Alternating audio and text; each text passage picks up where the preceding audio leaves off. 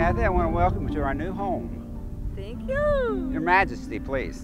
Yes, Your Majesty. Open the gate. Open the gate. Open the gate. This is the original structure. Then they added on what year? This backside. I don't know. Now we can get up the steps, and we'll skip this step right here.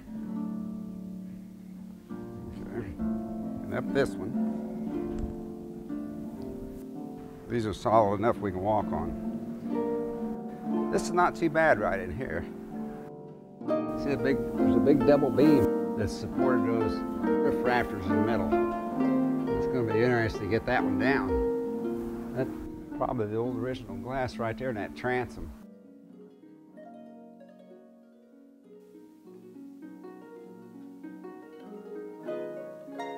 When you can spread the weight out over several of them, it's not that bad.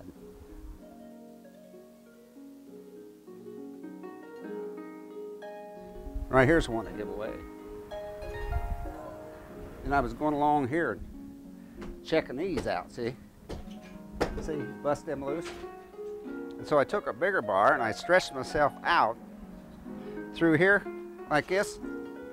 And so I took a long arm. I got rid of the short one I was doing this with.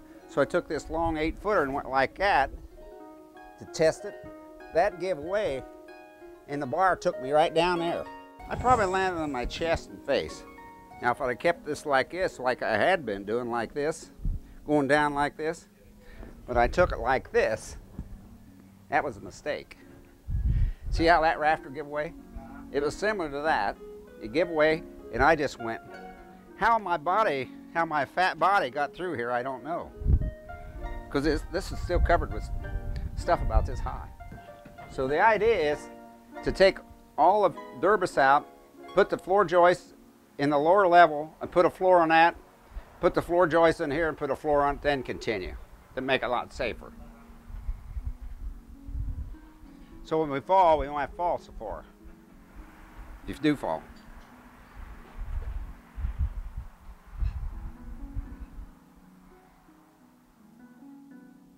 This is the ornate plaster they used in the ceiling.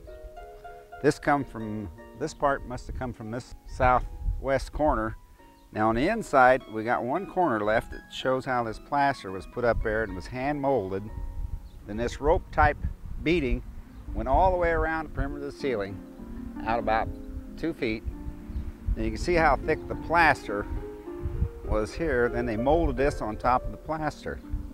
So as, as we're pulling the Durbus and junk out, we try to uh, save some of these. To maybe put it back like it was one room. Now, how many rooms had this, I don't know. But it's kind of fun to dig around in this and just like just like the girls that found an old dish and trying to wonder how old it is. Yay! We saved the old ink well. Remember when yeah, they had ink wells? Ink well. There's another one over there too. Oh, good. Wow. Yeah. Wash that? Not a big deal. They give it to the dogs. Oh, they love it. Wash it up. yeah. Tucker. All right. And this is the this is Darius' idea. The highlight is this part. This he really likes that. The arches. Everybody seems like it. This is the one we couldn't get into before.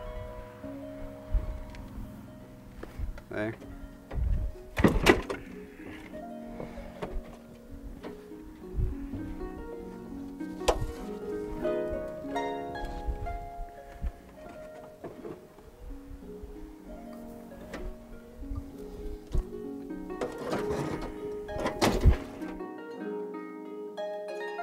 You couldn't get from this basement to the other basement without going up the steps right. and out there and back down. So this was the added on type. So I would say this basement is probably not as deep as the other basement. And uh, we dug down to see about the, the, floor, and it's down here about three feet under this. So that'd make it about probably six foot basement. You can see how, even when they added this other part on, they kept with the foundation, the native rock foundation. See how they did it? when I first got involved with it was uh, cleaning out the basement after Gary and, and Dad had cleaned out all the, the major appliances and stuff that was in the way. So that was my first experience with it, is bucking out all the debris in the basement. We couldn't get a conveyor, so we took out all the the dirt. We leveled that down. We carried it out in five gallon buckets. Imagine we carried out, oh, I don't know, two hard days of work, five gallon buckets to get through. We didn't have a choice. And so then that was leveled off where you could walk underneath it. Then we took out all the old floor joists. That would be in the, the main kitchen part. Took the floor joist out. Then we replaced those floor joists. Then we put a floor on, a subfloor. Then we went to the next story.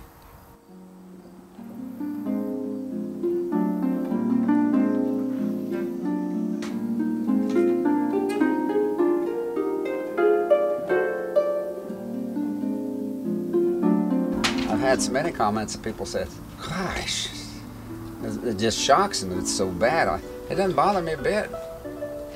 I don't mind looking in there and see, well, there they put a board in there for for a, a beam. See, and is it rotten? I, I just look at it that way. I don't look at it as a it's falling down. You know, we've had a pretty good safety record despite our uh, well, way we do things. I mean, it's just like walking in a cow pasture. You got to look down all the time, you know, or you're gonna step in a pie. So. It's pretty hard to find somebody that can read your thoughts. Mm-hmm. You know, and if you have to have somebody that oh watch where you're stepping. Whoop, we got to do that because I'm thinking ahead. We don't want to put that in now because we're going to have to take it out to repair something else. That's why I don't have too much help. I don't want to be too anxious. I can work with myself. I just have to get along with myself, and that's really bad enough. so I, I kind of like to do it myself. A lot of the stuff. Then, then I'll stack it up, push it aside. Then when somebody comes over, it's obvious what to do. Just maneuver it around and uh, pile it up.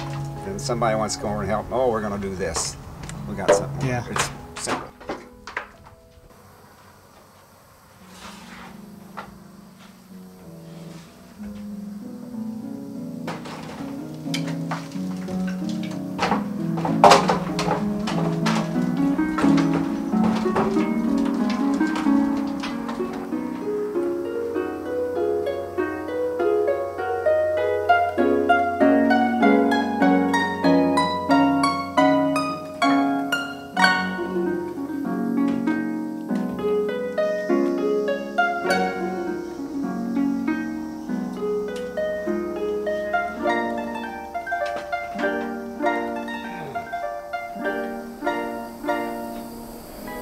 Golf clubs.